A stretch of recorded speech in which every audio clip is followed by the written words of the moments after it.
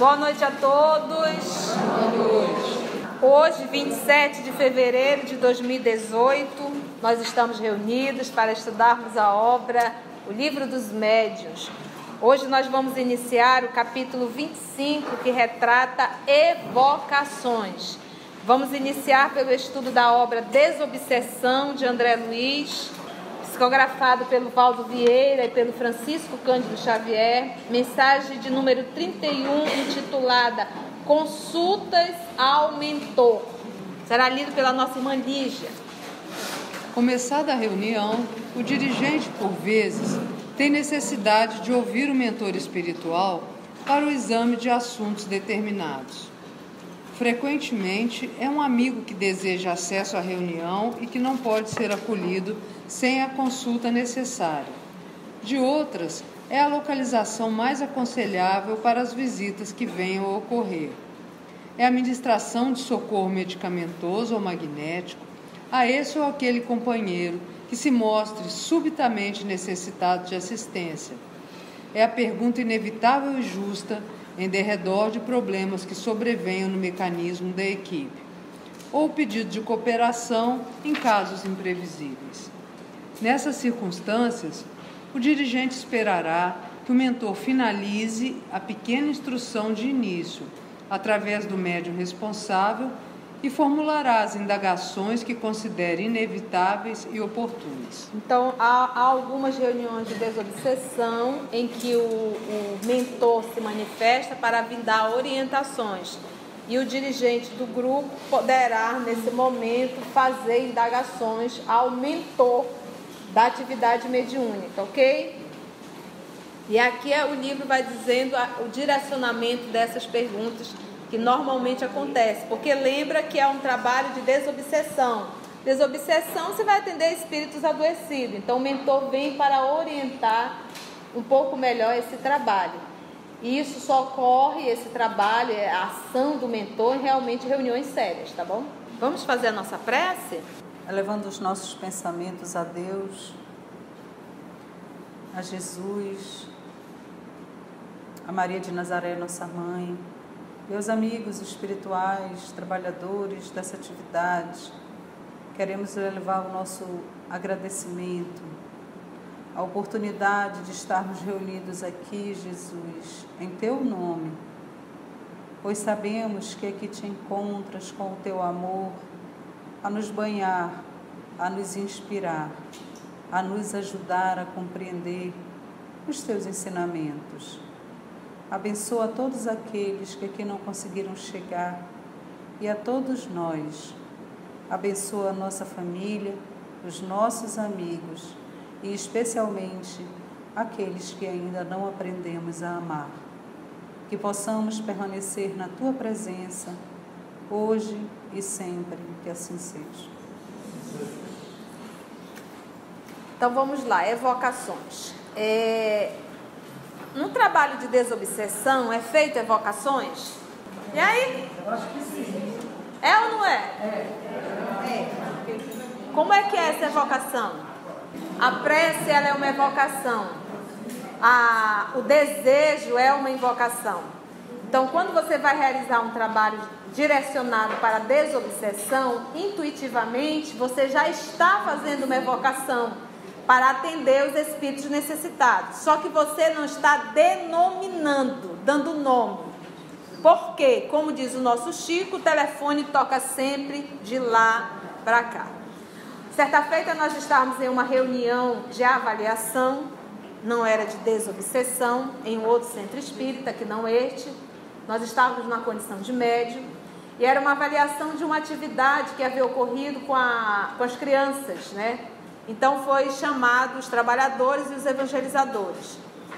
E o nosso coordenador orientou aos convidados que permanecessem em silêncio para a atividade e ouviu que os amigos espirituais teriam a nos falar sobre o trabalho que foi realizado com as crianças. Nós estávamos em transe mediúnico e alguém insistentemente no grupo estava fazendo uma evocação, queria conversar com a mãe dela. E o espírito que estava se comunicando através do nosso intermédio parou a comunicação, olhou para a pessoa e disse: Pare, você está atrapalhando a reunião. Ela não tem condições de vir. Como estavam todos de olhos fechados, não perceberam para quem que o espírito havia se direcionado. No momento da avaliação final, a própria pessoa pediu desculpas, assumiu o erro, porque ela estava solicitando que a mãe viesse se comunicar.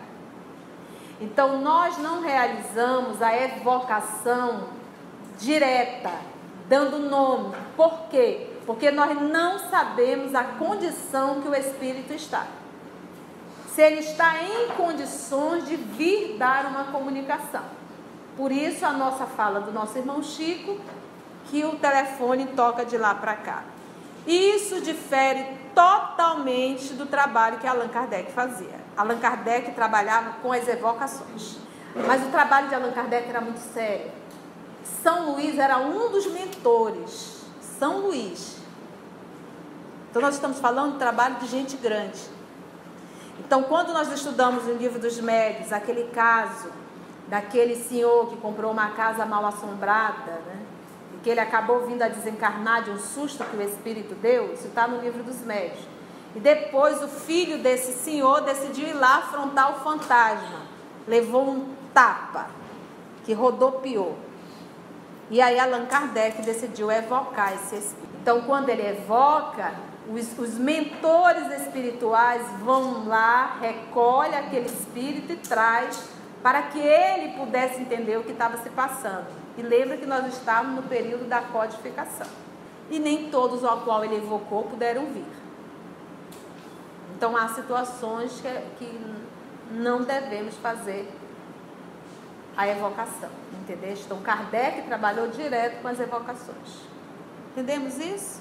Tem um caso de Francisco Cândido Xavier, de uma mãe que foi a primeira a chegar. Naquela época ele já estava, já estava sendo entregues fichas, porque ele não conseguia mais atender a multidão.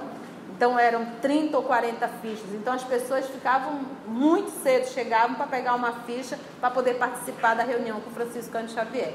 Então essa mãe, ela, ela, o filho dela havia cometido suicídio. Então ela foi a primeira da fila.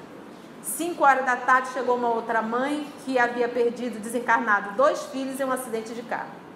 Quando ela chegou lá, não tinha mais ficha. Então ela começou a chorar, desesperada, porque ela queria ter uma notícia dos filhos. A mãe, que estava com a ficha de número um, se sensibilizou com a dor daquela outra mãe e disse: Poxa, eu perdi um, ela perdeu dois. O meu optou por se matar. E o, o, os filhos dela foi através de um acidente ela decidiu doar. Olha o movimento. Ela estava tendo a oportunidade de ter uma notícia do filho. Tanto é, qual é a mãe que faz esse movimento? Ela pegou a ficha dela e deu para essa mãe. E ela disse: Mas a senhora vai fazer isso? Vou, vou. E deu. Saiu, voltou, voltou para o hotel, foi dormir para arrumar as coisas para no dia seguinte voltar para sua cidade. Três horas da manhã, mais ou menos, o telefone, o interfone do quarto dela estava tocando. Recepcionista do hotel disse assim, porque são vários hotéis pré, próximo à casa da prece, lá em Uberaba. São vários, porque ficava tudo em torno da casa. Ele disse, olha, o, o, o senhor Chico Xavier pediu que a senhora fosse no centro espírita. Três horas da manhã ele ainda estava lá. Aqui, nove horas, já começa a dar formiga na, na cadeira, começa a doer, é um negócio. Três horas da manhã. Aí ela arrumou as coisas e tal. Chegou lá, o Chico disse assim: Minha filha, Emmanuel estava na fila e viu o que você fez. Ele se sensibilizou tanto com o seu desprendimento que ele foi pessoalmente buscar o seu filho no Vale do Suicídio. Ele não tinha condições de escrever, mas Emmanuel ajudou está aqui a carta do seu filho. E Emmanuel mandou lhe dizer que a partir de hoje ele estará cuidando do seu filho. Um ato de desprendimento.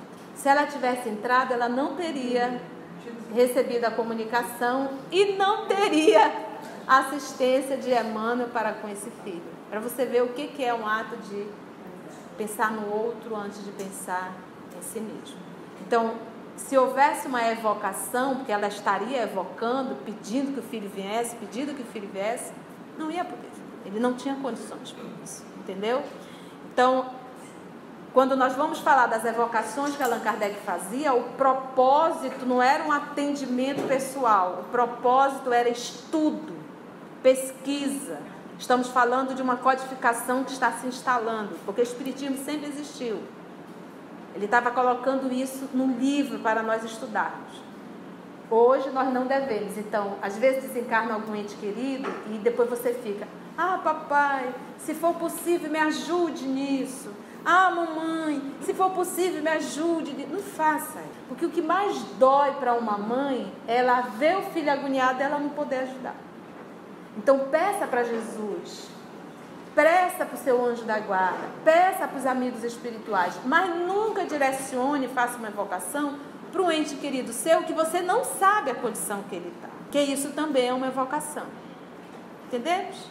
Nós vamos estudar considerações gerais, espíritos que se podem evocar, linguagem a ser usada com os espíritos, utilidade das evocações particulares perguntas sobre as evocações, evocação de animais, evocação de pessoas vivas, telegrafia humana. Tudo isso nós vamos estudar aqui. Vamos ver as considerações gerais? 269. Os espíritos podem comunicar-se espontaneamente ou atender ao nosso apelo, isto é, comparecer por meio de evocação. Pensam algumas pessoas que não devemos evocar nenhum espírito, sendo preferível que se espere por aquele que queira comunicar-se. Segundo alegam, quando chamamos determinado espírito, não podemos ter certeza de que seja ele mesmo quem se apresenta. Ao passo que aquele que vem espontaneamente, por iniciativa própria, comprova melhor sua identidade, porquanto, assim agindo, manifesta o desejo que tem de conversar conosco. Obviamente que o espírito pode se manifestar de forma espontânea e ser um embusteiro. Isso não é regra. Por isso é que ele está colocando. Em nossa opinião, aqui Allan Kardec está falando, olha, minha opinião particular. Ele nunca diz em minha, ele diz em nossa, porque ele sabe que o trabalho é coletivo. Então ele diz, em nossa opinião, isso é um erro achar que o fato de ser espontâneo, isso quer dizer que seja autêntica a comunicação. Primeiramente, porque estamos rodeados de espíritos, quase sempre de condição inferior.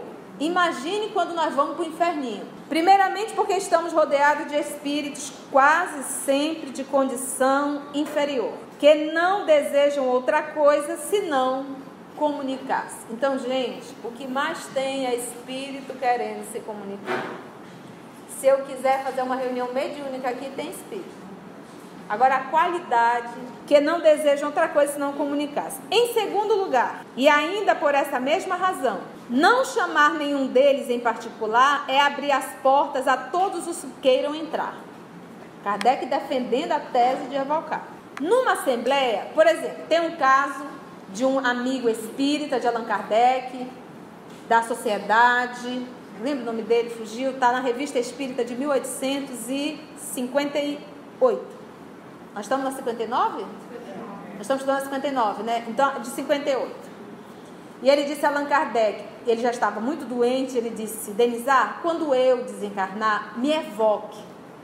Faça a evocação, logo depois da minha morte, para ver se eu consigo contribuir com algo para a doutrina espírita. O velório estava acontecendo em uma sala, na sala ao lado, Allan Kardec evocou. O médium não tinha absolutamente nenhum conhecimento sobre a vida do outro irmão que seria. Ele nem sabia quem era, para não se autossugestionar. Então era assim que Kardec trabalhava.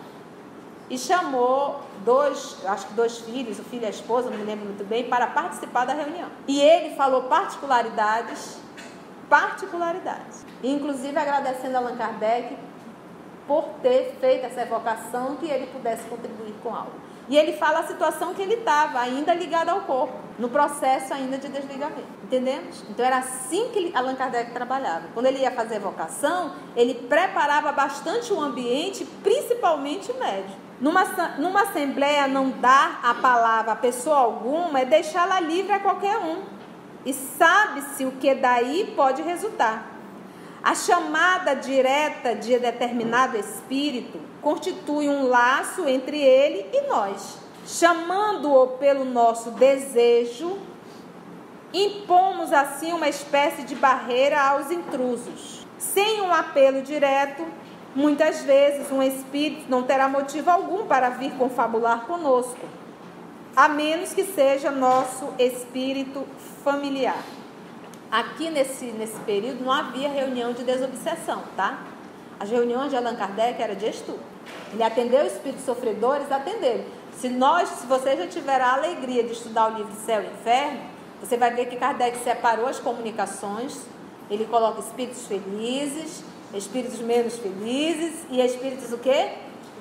Sofredores. Só que quando você vai ouvir os sofredores, é ele retratando o que ele passou e o que ele ainda sente, mas já está sendo atendido. Então é quase sempre vantajoso aguardar a boa vontade dos que se disponham a comunicar-se, pois o pensamento deles não sofre nenhum constrangimento e dessa maneira se podem obter coisas admiráveis. Entretanto, Pode acontecer que o espírito por quem se chama não esteja disposto a falar ou não seja capaz de fazê-lo no sentido desejado. O exame escrupuloso que temos aconselhado é, aliás, uma garantia contra as comunicações más.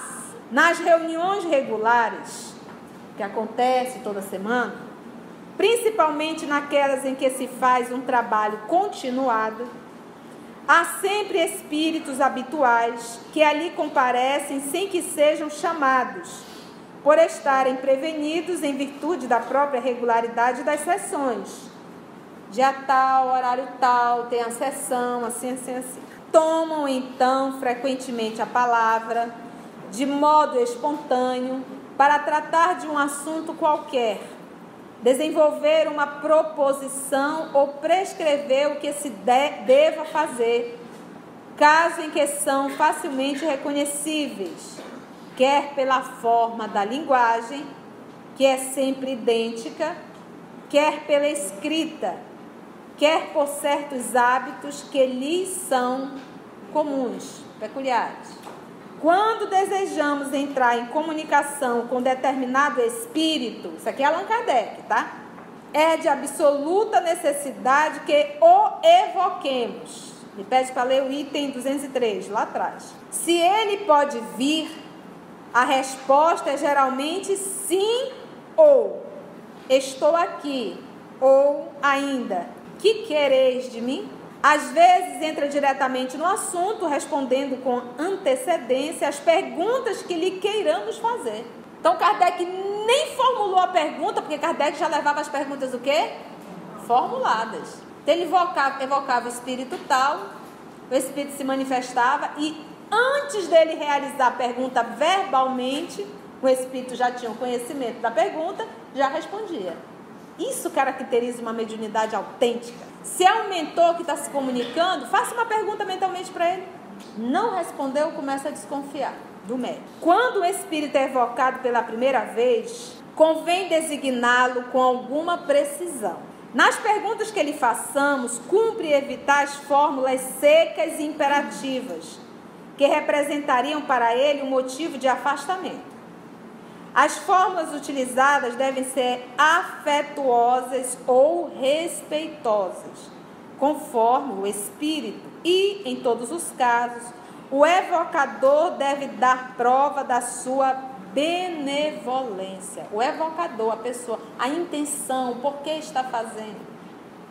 Imagina eu evocar, eu quero falar com o espírito fulano de tal, tomar conta dele. Gente, eu não estou querendo botar medo não, tá? Mas reunião mediúnica é coisa séria, tá bom?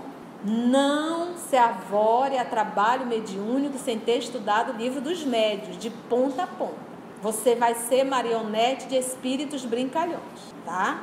Porque eles sabem quem conhece e quem não conhece. Daqui a pouco tu vai estar fazendo bamba, bananeira, plantando bananeira, porque ele te mandou fazer. Dei um exemplo assim bem esdrúxulo, é porque tem coisas que são bastante esdrúxulas e que tem muita gente dentro do movimento fazendo. Por quê? Porque não estuda Kardec. Vamos para o 271? Diz Kardec assim: muitas vezes é surpreendente a rapidez com que um espírito evocado se apresenta, mesmo na primeira vez. É como se já estivesse prevenido de que seria evocado. E de fato, é isso mesmo que acontece, quando aquele que o evoca já tinha previamente a intenção de fazê-lo. Que ninguém pensa em evocar lá na hora, já tinha pensado isso, ó. Essa intenção ou preocupação é uma espécie de evocação antecipada. Entendeu? Então a, a mocinha que estava lá chamando a mãe mentalmente, aí, o desejo dela de ouvir a mãe, que já estava desencarnada, aquilo era uma evocação. Precisou ela falar em voz alta, em nome de Deus, Nosso Senhor, evoco minha mãe. Gente, é a intenção. Então você imagina uma pessoa que se avora um trabalho mediúnico que não estudou isso aqui, vai atrapalhar o trabalho mediúnico. Então, é, você é, segue a reunião mediúnica, certo? Certo. Evocação, Espírito Santo, uma reunião. Fora de- disso, outra situação que você pensa naquele ente querido e sente aquela saudade bem forte, tu tem aquela vontade de abraçar. Tu não está evocando mentalmente também? Tu- é- a evocação é me acode. Tu estás lembrando dele e mande um abraço apertado. Porque às vezes, às vezes, quando nós estamos com essa, esse saudosismo, essa vontade de abraçar, às vezes a pessoa está ao nosso lado. É uma visita rápida, entendeu? É uma visita rápida. É, é muito chato, às vezes eu costumo dizer assim: você imagina você ter vivido numa família 70, 80 anos, de repente você desencarna e ninguém lembra de você? É muita crueldade. Nem filho, nem ninguém, nem com uma prece. Então é- é diferente, tá? Não é que você deseja conversar, é, um, é uma emoção, é um sentimento. Entendeu? Então abrace, envolva esse ente querido, mande um abraço querido, fortalece, peça para que ele permaneça na fé em Deus, que possa estar trabalhando no mundo espiritual, que possa se submeter à vontade dos espíritos superiores que estão auxiliando. É esse movimento de incentivo e não para que ele venha para estar acudindo aos meus chiliques. Entendeu? Isso é uma vocação. Eu estou chamando para ser atendido. Tá? Essa intenção ou preocupação é uma espécie de evocação antecipada e, como temos sempre conosco os nossos espíritos familiares, que se identificam com o nosso pensamento, eles preparam o caminho de tal sorte que, se não surge nenhum obstáculo, o espírito que desejamos chamar já se acha presente ao ser evocado, se não houver nenhum obstáculo. Então, Kardec tinha informação que nem todas as evocações eram realizadas, tinham sucesso. Em caso contrário, é o espírito familiar do médium, do interrogante, ou ainda um dos que costumam frequentar as reuniões. Então, estamos aqui em uma reunião mediúnica. Um, eu, vamos supor que eu seja a média ostensiva. E aí vem um espírito familiar meu e diz assim: olha, o espírito fulano de tal ao qual vocês chamaram não tem condições de vir. E é avisado. Ou de repente um espírito familiar do dialogador, ou de algum dos participantes, ou um trabalhador da reunião. É o espírito familiar do médio, do interrogante, que nós chamamos hoje de dialogador, ou ainda um dos que costumam frequentar as reuniões que vai buscá-lo e, para isso, não precisa de muito tempo. Se o espírito evocado não pode vir imediatamente, o mensageiro, os pagãos diriam, Mercúrio, né? Marca um prazo, às vezes de cinco minutos, um quarto de hora, uma hora e até muitos dias. Olha, o fulano, vamos aguardar cinco minutos, que daqui a pouco vai começar a comunicações. Olha, ele não terá condições de hoje, vamos tentar trazê-lo na semana seguinte. Quem já ouviu o, o, material do Francisco Cândido Xavier chamado Instruções Psicofônicas? O que, que foi? O nosso o Arnaldo Rocha, que era o dialogador das reuniões de desobsessão de Francisco Cândido Xavier, ele, como foi gravado naqueles, naquelas fitas enormes que rodavam, como é o nome daquele trenzão? Não sei o nome daquilo. É, não, eram fitas mesmo. Então tudo foi gravado, então ele transcreveu todas as comunicações. Daí os dois livros, são instruções psicofônicas e vozes do grande além. Depois o Oceano Vieira achou essas fitas, recuperou o áudio.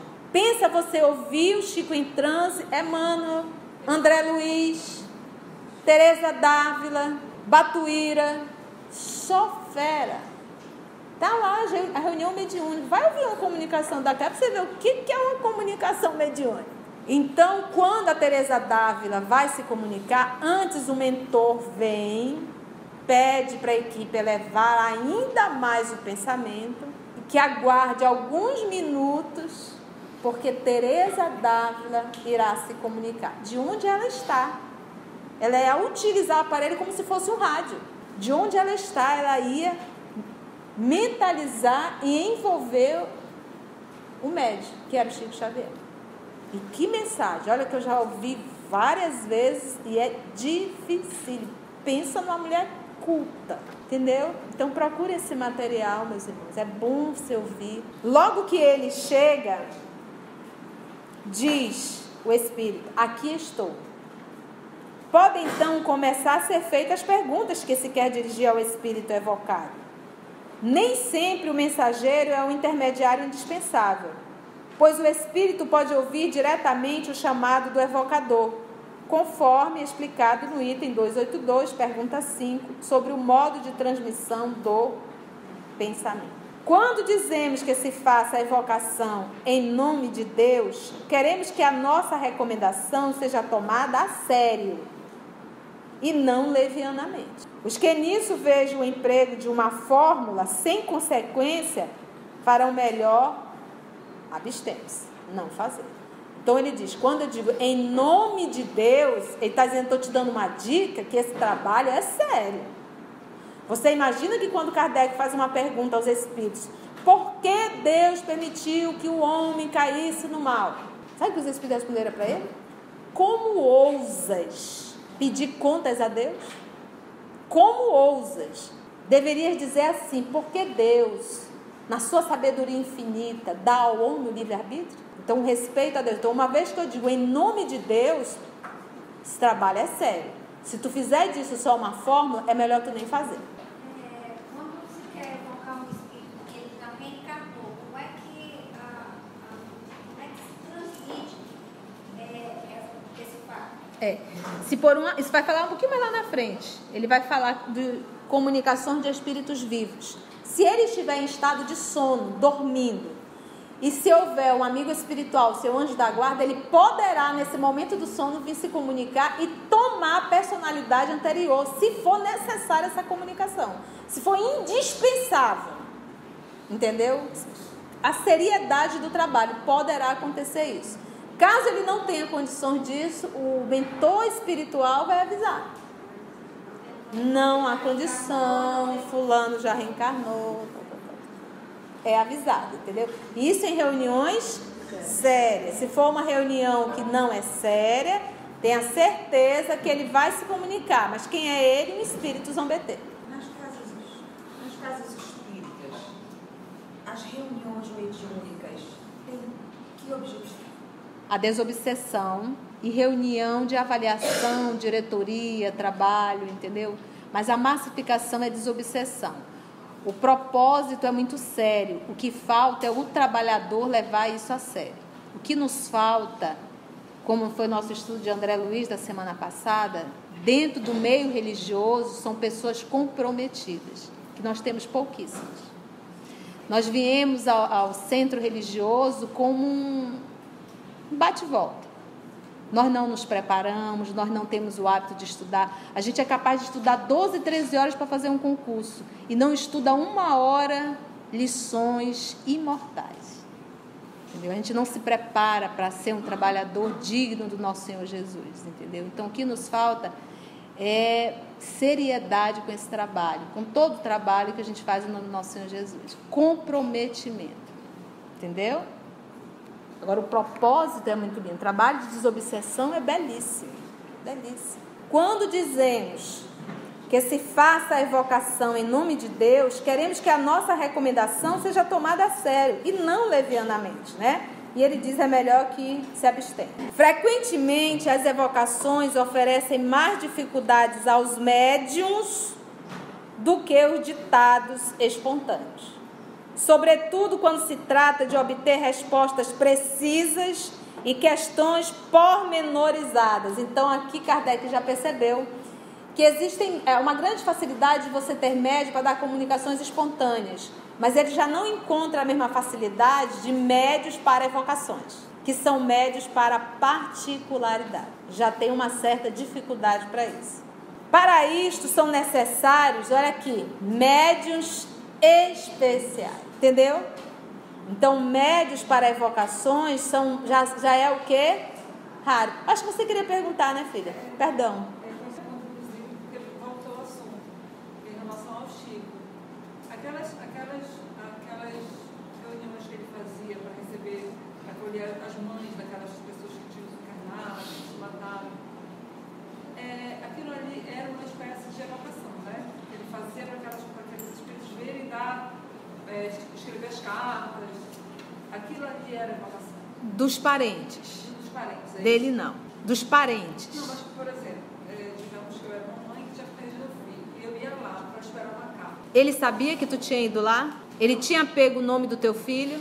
Pois é, ele não, ele não fazia assim, por exemplo, de chamar o filho da, da, daquela pessoa. Não, não, né? não. Nenhuma pessoa tinha contato com ele. Por isso é que ele dizia que o telefone tocava de lá para cá. Esse trabalho, o trabalho das mães, das cartas, isso fazia parte do trabalho da missão de Francisco Xavier. Isso foi um período único, nunca tivemos isso na história do planeta. Até comunicação em hebraico, psicografia em hebraico, Chico deu.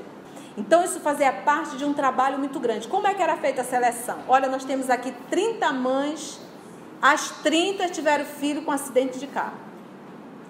Nós temos aqui a presença, porque era muita gente. Nós temos 60 mães com filhos que cometeram suicídio. Olha, nós temos 90 mães, ele somava, que, tudo crianças 3, 4 anos. Então o que, que nós vamos fazer? Vamos aliviar todo esse grupo, pegando um suicida, um que morreu de acidente de carro e uma criança.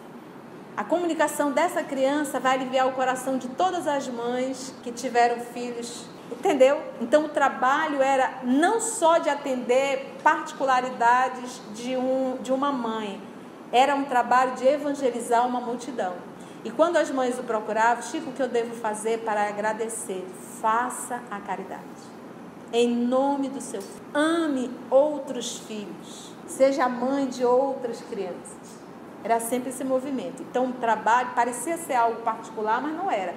Então, além de mostrar a existência e a sobrevivência da alma, comprovar a individualidade dessa alma, que ninguém perde, você continua com a sua personalidade, você continua vivo e ainda consolava uma multidão. Então, foi um trabalho grandioso. Ele entregava os carros, não entregava. Em que momento? Não, por exemplo, esse caso aí da, da, da senhora. Deixa eu, acho que você não está entendendo. Presta atenção, vou te explicar como é que é, para todos vocês. Quando Chico chegava, a multidão já estava. Ok? Ok. Ele vinha em silêncio, sentava na mesinha dele, não tinha contato com ninguém, ninguém escrevia nada, ninguém dizia nada, ele nem sabia quem estava na multidão. Fazia a leitura do Evangelho, terminava a leitura do Evangelho em voz alta, fazia-se a prece, ele abaixava a cabeça e começava a escrever. Alguns com 30 páginas. Escrevia, escrevia, escrevia, escrevia. Terminou, tinha alguém ali, como ele era algumas vezes médio mecânico, separava as três mensagens, trem. Aí ele começava. Vamos dar um exemplo da Eunice, Eunice Weaver. O esposo dela, então namorado, paquerava com ela, já um senhor bem mais velho que ela, chegou com ela e disse assim: Como você se chama? Ela disse: Eunice. Menina Eunice, se eu fosse um homem solteiro, lhe pedia em casamento. Passaram-se os anos, ele voltou para o país dele, acabou ficando viúvo, voltou ao Brasil, foi à faculdade, encontrou com Eunice.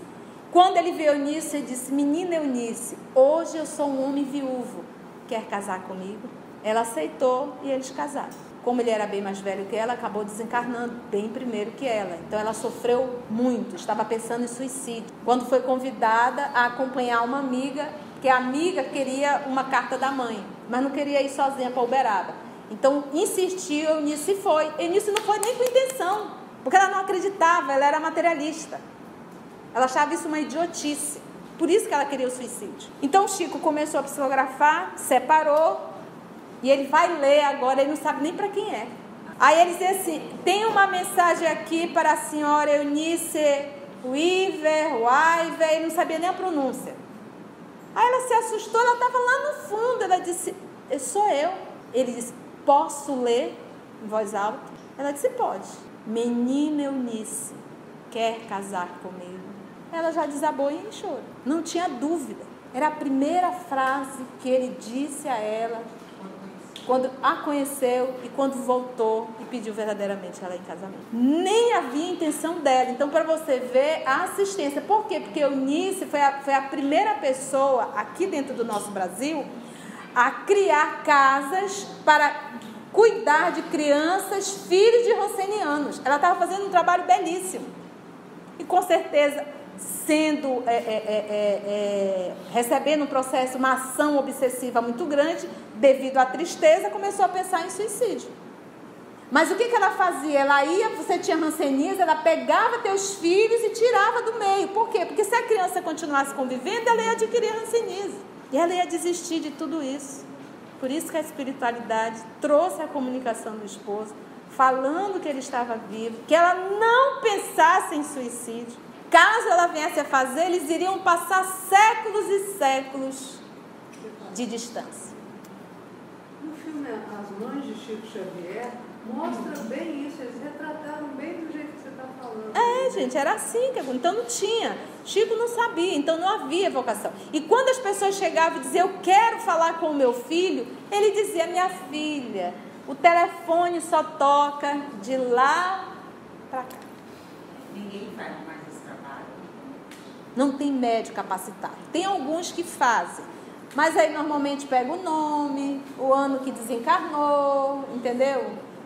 Acaba pegando algumas coisas. Mas assim, dentro da capacidade franciscana Xavier, foi bom estudo? Bom. Então agradecemos a Jesus por mais essa oportunidade de estudo, aos amigos espirituais e até o nosso próximo encontro.